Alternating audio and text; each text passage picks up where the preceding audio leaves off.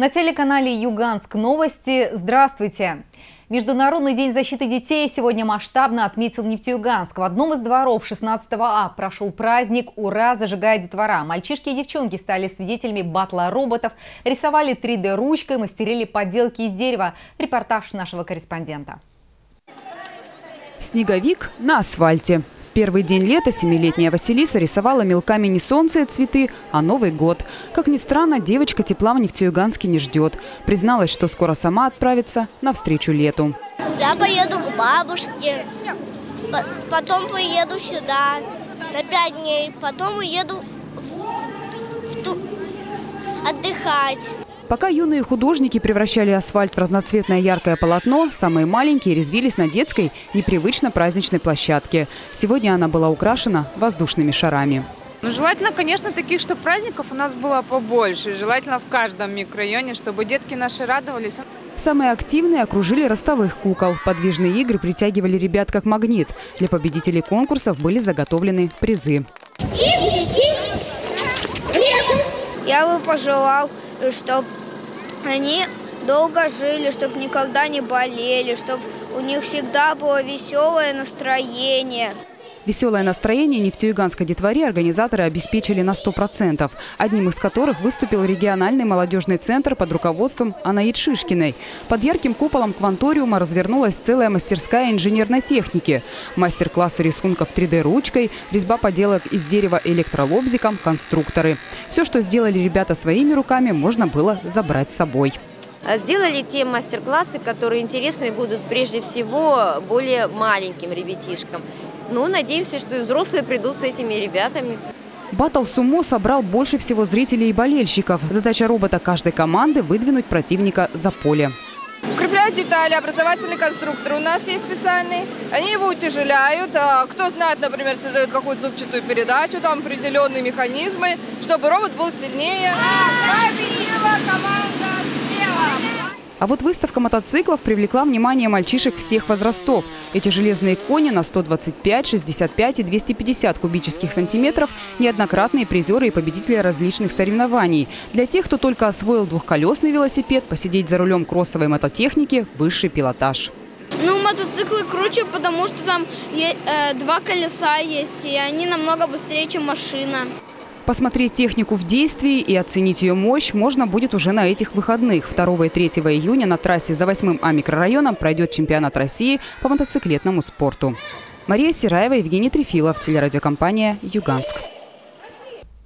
А у подростков сегодня состоялось начало трудового лета. За месяц они смогут получить около 5000 рублей, при этом работая всего два с половиной часа в день. Куда планируют потратить, а главное, есть ли те, кто готов радоваться самому процессу, в следующем материале.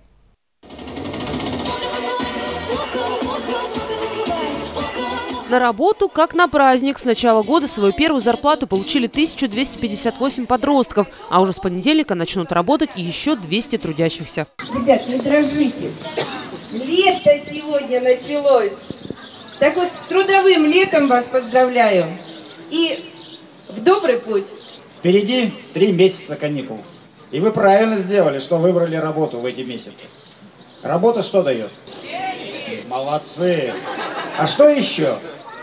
Друзей, опыт. Кто-то присмотрит себе работодателя, да? Или работодатель обратит на вас внимание. Озеленители, архивисты, вожатые. У молодежной биржи труда договор с 40 городскими предприятиями. Так что вакансию можно было выбрать. Я буду работать вожатым. А, просто мне нравится общаться с детьми. Буду в суде работать. Ну, кем, э, что скажут, курьером там, бумажки перебирать. Куда планируешь деньги потратить? Деньги. Я хочу, чтобы родители добавили и съездить э, в Петербург. Я буду их копить. Я в следующем году поступаю. А, на саморазвитие. Там купить себе музыкальный инструмент, укулеле. Городские депутаты предложили завести новую традицию – лучшему трудовому отряду лета вручить символическую золотую лопату и сделать приз переходящим. В финале трудового праздника все присоединились ко всероссийской акции «Самый дружный хоровод». Платонова, Евгений Трефилов, телерадиокомпания «Юганск». Счастливое детство 60-х. В культурно-выставочном центре Усть-Балык сегодня открылась передвижная фотовыставка «Как молоды мы были». Чтобы принять в ней участие, свои работы прислали жители со всех городов округа. Лучшие фотографии югорчан теперь сможет увидеть каждый желающий. Каким оно было счастливое детство и юность вспомнили и сторожилы Нефтеюганска. На выставке «Как молоды мы были» собраны лучшие работы одноименного окружного фотоконкурса. Он прошел в рамках всероссийского партийного проекта «Старшее поколение». Строили города, э, месторождения открывали. И это вы, это вы, вот старшее поколение, в конкурсе принимали участие лица старше 50 лет.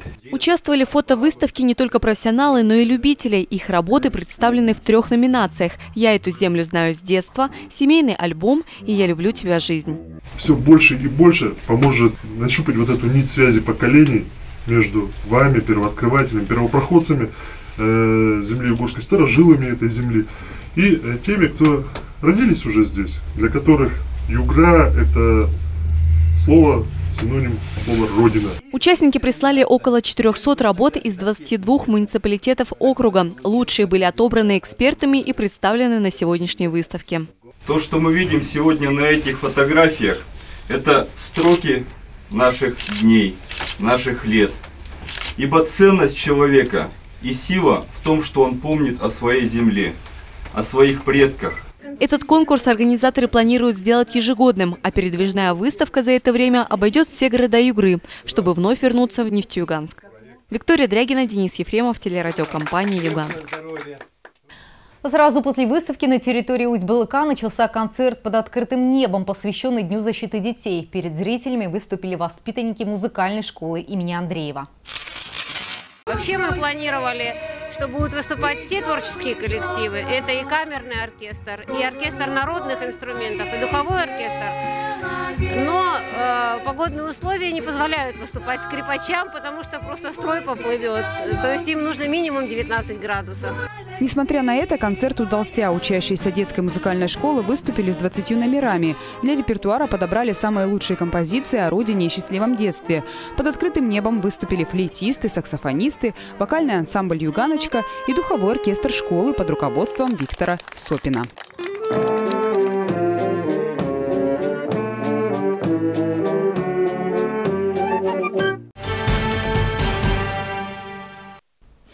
В «Жемчужине Югры» прошли соревнования среди воспитанников спортшкол. 140 детей состязались по пяти направлениям – перетягивание каната, стритбол, пионербол, веселые старты и мини-футбол. О счастливом и несчастливом детстве спортсменов в следующем материале.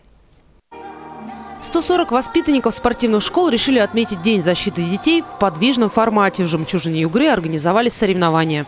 Желаю вам хорошо отдохнуть, набраться сил, здоровья и не забывать, что 1 сентября снова.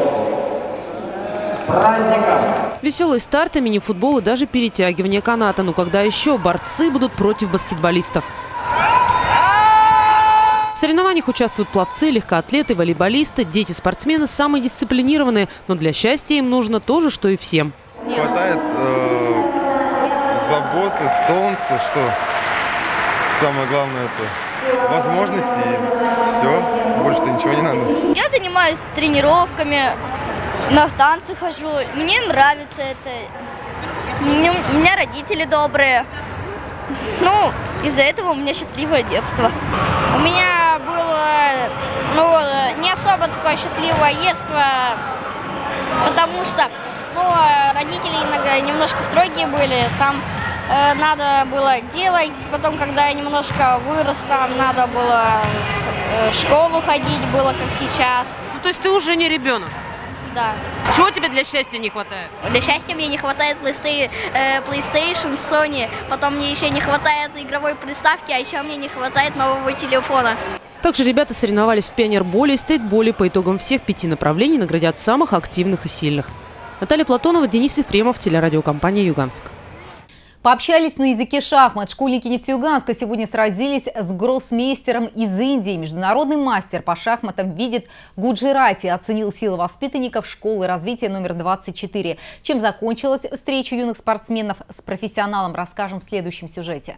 Ну, две армии, которые ну, борются за защиту короля своего. Таким видит игру в шахматы Сейдбек Костеков. И он не первый раз побеждал на этом поле сражений среди его ровесников на городском и региональном уровне. В этом году я получил в Пойковском первое место, потом еще в Сургуте второе место. Ну, все получалось. Хорошо на, начинал играть, изучал все последнее время. Задачки решал много. Это чтобы узнать, как играют, например. Ну, гроссмейстер, например. Познакомиться с одним из них Саидбек и не мечтал. Мальчик всего 4 года в этом спорте, а ему пожимает руку международный мастер по шахматам Видит Гуджрати. По инициативе депутатов Думы округа Владимира Николаевича Семенова организована вот эта сегодня встреча. Мне хотелось бы также всех вас поздравить от председателя Думы города Нефтеюганска, от всех, от нашего депутатского корпуса. Пожелать вам, ребят, успехов, удачи и показать все те умения и навыки, Видит у Гуджарати всего 23 года. Свой путь к званию международного мастера он так же, как и эти ребята, начинал в 7 лет. Поэтому, понимая потенциал школьников, в поддавки не играл. Uh, я думаю, что уровень был достаточно высок, и я видел энтузиазм. Но, безусловно, игроки должны усиливать свои навыки. Партия с 15 игроками длилась около часа. По результатам его Видит выбрал четверых сильнейших игроков. Лучшим, по мнению гроссмейстера, стал Сейдбек Костеков. Виктория Дрягина, Денис Ефремов, телерадиокомпания «Юганск». Через минуту в прямом эфире начнется программа «Вечерний гость». Как провести летние каникулы интересно, используя, и что делать, если лето так и не пришло. Своими секретами и позитивом с нами поделятся две счастливые многодетные мамы.